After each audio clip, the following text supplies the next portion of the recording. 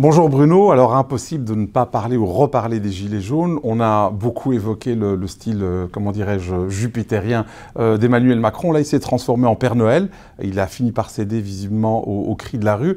Alors première question, c'est est-ce que ça va calmer les Gilets jaunes? C'est difficile à dire. Ils en étaient au quatrième acte et le cinquième acte prévu pour ce week-end. Euh, ça veut dire qu'il y aura sans doute encore des manifestations, mais, le fait politique est majeur. On a un président français qui a quasiment été plébiscité, qui est seul face à la rue, sans corps intermédiaire, sans aucune concertation sociale, et qui donne ce qu'on appelle des, cadeaux fiscaux. Maintenant, est-ce que ce sont des cadeaux? Pas vraiment, parce que je crois qu'il y a besoin de relance économique en Europe, et les mesures de pouvoir d'achat met en œuvre sont finalement assez justifiées, puisqu'elles visent plutôt la classe moyenne et inférieure, elles visent les pensionnés qui ont des pensions de retraite assez peu élevées, et donc la logique économique euh, est à mon avis assez notable. Alors est-ce que ça va calmer les gens? On verra bien, mais à tout le moins c'est l'amorce d'une solution politique à une crise qui était un tout petit peu désordonnée. Alors, pour le calme, on le verra samedi prochain, puisque l'habitude, c'est le samedi entre 8h et 20h.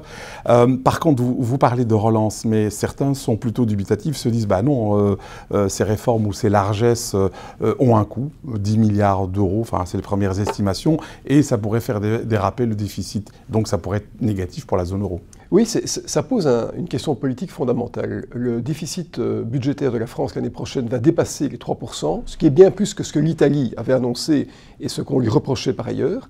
Et donc c'est un fait politique majeur parce que ça veut dire qu'un pays aujourd'hui, fondateur de la zone euro, est obligé de dépasser les critères de Maastricht, alors que l'engagement de ce pays était justement de rester dans les seuils budgétaires qui avaient, qui avaient été imposés notamment par les Allemands. Qu'est-ce que ça veut dire? Ça veut dire que comme l'Italie, la France est confrontée à un problème social.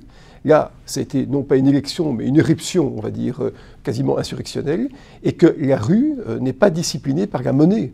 Euh, la rue discipline la monnaie, et donc la France va devoir transmettre aux Allemands un message de demande d'assouplissement budgétaire, et ça va peut-être entraîner un nouveau cadre politique en Europe.